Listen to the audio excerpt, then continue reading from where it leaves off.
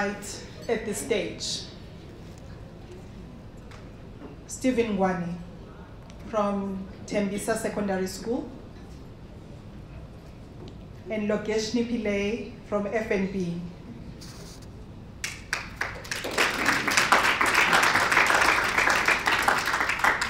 Thank you.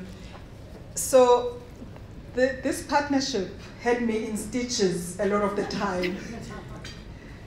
They, they, they just had a way of, when they were reflecting on their experiences, whenever we met, either as a, as a partnership or um, as just a conversation between myself and Logeshnie.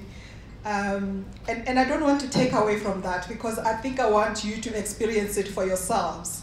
One of the key things, though, that I really just want to highlight about this partnership is that when we had our COP and visited uh, Steven's school, I think we didn't um, anticipate the impact of being in that environment and really connecting with the challenges that principals have to uh, operate under. Um, Steven, I'm going to let you speak a little bit about that one of the things about Steven is that he just has he has a way, and I think both of you actually, Logeshnie. If I think about yourselves in the partnership, um, there was something about your partnership that just pulled at our hearts, um, and, and and I think it speaks to to the quality of commitment and respect that we saw between the two of you. And um, one thing I didn't mention about Steven's School, even though there are all these challenges, we have the provincial champs. So the learners that you saw singing here earlier are our provincial champs.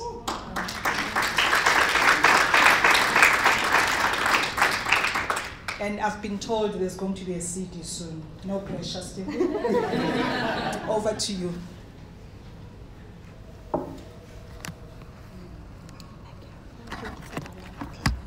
Good evening, ladies and gentlemen. Um, thank you for gracing us with our, your presence today. Um, so I'm quite a nervous speaker, and I'm glad I have my partner here just to guide me along the way. And um, everything that I had practiced in the car uh, to say uh, just went out the window.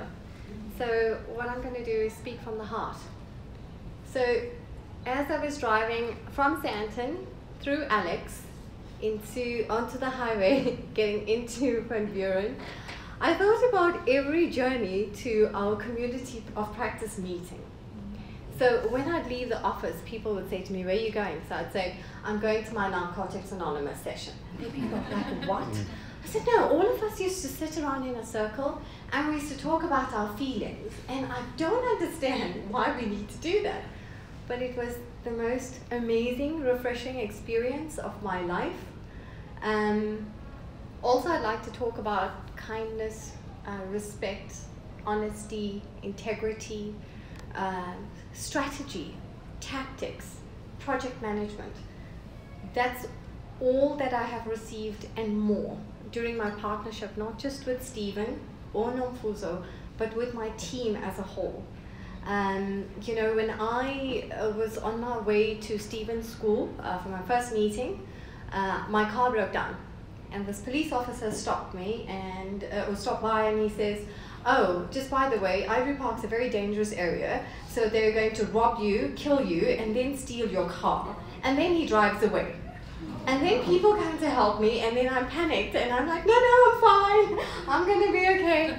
And then I phone Steven. I'm like, Steven, you need to come and get me now, please. I'm really scared. Then the next person I called was my friend Ben.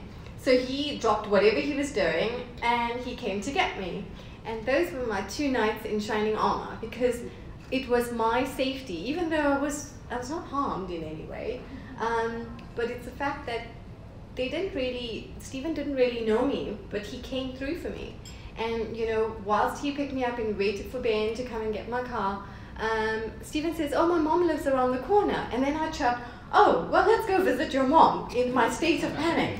So we went to visit his mom. And I sat there and I saw an ashtray on the table and I'm thinking, hmm, I wonder if there's another person that lives here. And I almost said to the auntie, please can I have a cigarette? but I didn't because I said, well, what would my mom say? Um, you know, I'm thankful for, for Steven for inviting me to his school governing body meetings, introducing me to the parents. You know, um, Steven is not just there from Monday to Friday, he's there on weekends. He's he's he's dedicated. He, he's always got a smile on his face. Nothing, um, nothing puts him down, and I I feel he's beaten the odds. But lastly, from my side, um, I'd like to say that uh, my uh, my fellow business partners and school principals, you have been amazing. Every single person, you're different in so many ways, but I have learned so much from each person and um, I'm not just leaving behind, you know, business partners or, or principals. I feel like I'm leaving home for the first time. And it's really, really scary. Um, but I am feeling very blessed and very fortunate that FirstRand give, gave me this opportunity to be here and, and to share in this experience. And uh, yeah, I'm, I'm looking forward to our journey together in 2019. So before I take up all the airtime, I'm going to hand over to the most important man during this journey. Thank you very much to my business partner.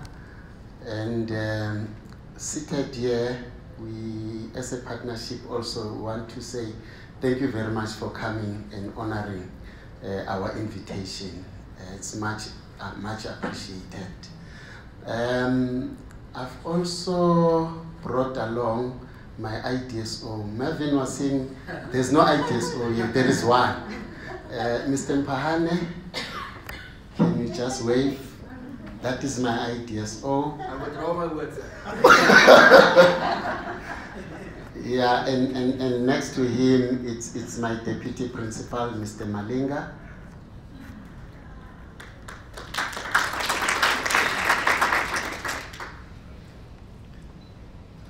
It, was a very, very difficult and, and tough journey uh, for me as a principal. Uh, I went through all the levels uh, in education. I was a teacher, became an HOD, became a deputy principal, and currently a principal in different schools. A teacher in one school, HOD in another, deputy principal in another, and principal in another school. Very, very challenging. And there is this phrase that I like um, the most um, that says, um, if you want to avoid criticism, say nothing, do nothing, and be nothing. And don't become a teacher. and, and, and that is why I became a teacher. Uh, I became a teacher because I wanted to make my community mad. And uh, mad in this case means as in making a difference. So I'm making them mad uh, in that sense. Um, I joined Tembisa High School um, last year in May and uh, there's a lady called Carol uh, in Partners for Possibility. She came visit me whilst I was a deputy principal at Winnie Mandela Secondary School. And uh, my principal is a, is a union member, is a provincial chairperson uh, of SADTU.